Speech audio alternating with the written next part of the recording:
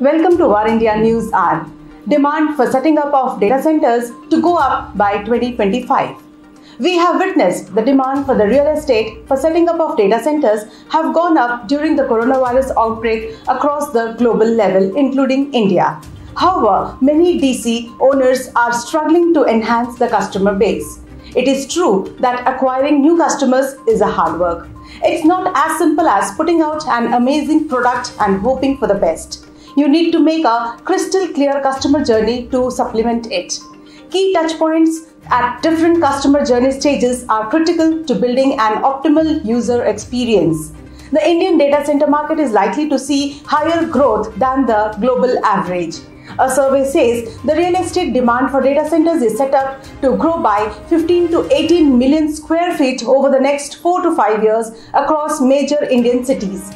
Data center demand is expected to touch over 2,500 megawatt between 2021 and 2025 with the adoption of 5G, Internet of Things, artificial intelligence, increasing use of cloud services and in smart cities.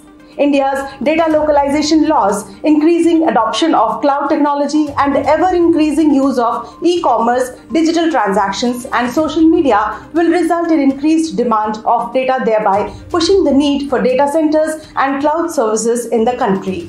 At present, data centers in India occupy over 7.5 million square feet area, consuming over 650 megawatt power. More than 8 million square feet and 870 megawatt capacity is under construction and will go online between 2021 and 2025. With the proposed development of over 10 million square feet of 1200 megawatt, the country is expected to achieve 3000 megawatt data center capacity in near future. Let's look into today's headlines in VARINDIA. HPE Aruba founder Keerti Melkote is leaving HPE. Keerti Melkote has stepped down as the president of Hewlett Packard Enterprises Intelligent Edge Base as of June 1st. Antonio Neri, HPE CEO, said, I am incredibly grateful to his leadership of Keerti Melkote and I have personally benefited from his counsel, knowledge, and friendship. Keerti will remain as an advisor to me for the remainder of HPE fiscal year 2021. Melkote is being replaced by HPE Senior Vice President of the Communications Group, Phil Mottram. SAP announces 100% flexible working policy for its employees. SAP has announced flexible working for its 1 lakh employees around the world after receiving positive feedback on the remote working experience during the COVID 19 pandemic. The company said internal polling found that 94% of its employees wanted to take advantage of greater working flexibility, while nearly half planned to work in the office for one or two days a week in the future. The global chatbot market is projected to reach $102.29 billion by 2026.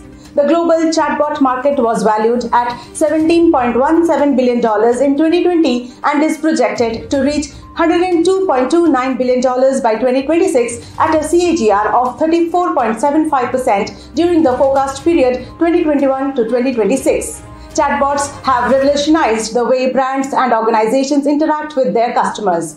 Leveraging natural language processing, that is NLP, and artificial intelligence, chatbots make education and shopping more personalized and healthcare more accessible. Byju's and Google tie up to offer learning solutions to schools. Byju's has managed the database size of 95 million registered students on its flagship learning app and has partnered with tech firm Google to aid the continuity of online learning for both teachers and students. The integration among Google Workspace for Education with Byju's is to offer a personalized digital platform for classrooms organizations available free to participating institutions. Beauty retailer Nykaa to list at $4.5 billion valuation. Nykaa may file for IPO by early July, list in March quarter. The $4.5 billion figure, a sharp rise from its earlier valuation of more than $3 billion in January, as the beauty retailing startup gains from a market shift towards online sales during the pandemic. Nykaa, founded by former investment banker Falguni Nayar. Nykaa's overall valuation is led by a spurt in revenue and profit for the e-commerce platform. That's all for now. Please like, share, comment and subscribe to VARINDIA News magazine. Stay tuned. Thank you.